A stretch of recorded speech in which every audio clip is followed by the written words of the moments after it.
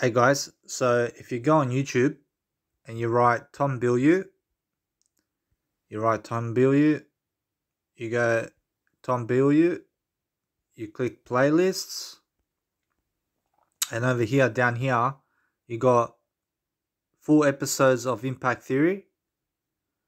So check, check see all the red marks? I read I read all that. I read all that. You get it? Three hours, three hours, 46 minutes.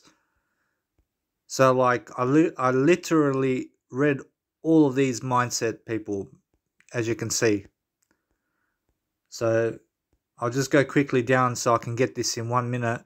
You can see all the red marks under the video. You can see how much I read